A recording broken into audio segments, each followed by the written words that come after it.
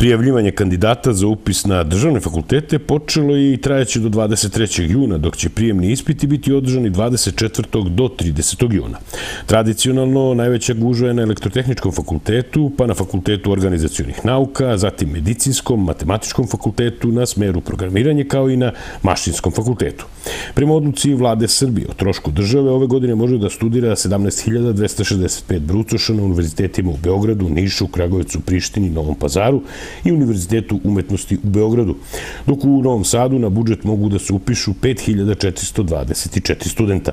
Znači, o trošku države ove godine školovaće se ukupno 22.889 studenta prve godine. Svi fakulteti još ranije su odredili i kvote za upis za samofinansirajuće studije.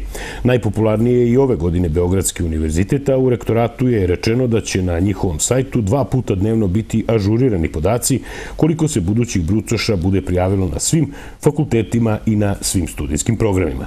Cilj je da studenti budu informisani o broju prijavljenih kolega, kako bi, na primjer, oni koji procene da nemaju šansu da se upišu na željeni fakultet, mogli da konkurišu na neki srodan. Hoćemo da budući brucoši budu što bliže svojim željama, rekao je profesor dr. Petar Bulat, prorektor za nastavu. Na Univerzitetu u Beogradu inače biće upisano 15.219 brucoša, od čega na budžet 9.544, a samo finansirajućih će biti 5.675.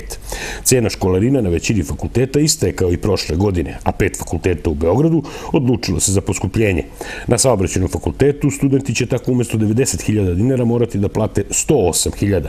Na mašinskom cena je povećana sa 66.000 na 72.000, na ekonomskom sa 85 na 90 90.000, na pravnom sa 95 na 99.000, dok je na učiteljskom cena sa 99.000 dinara skočila na 102.000 dinara.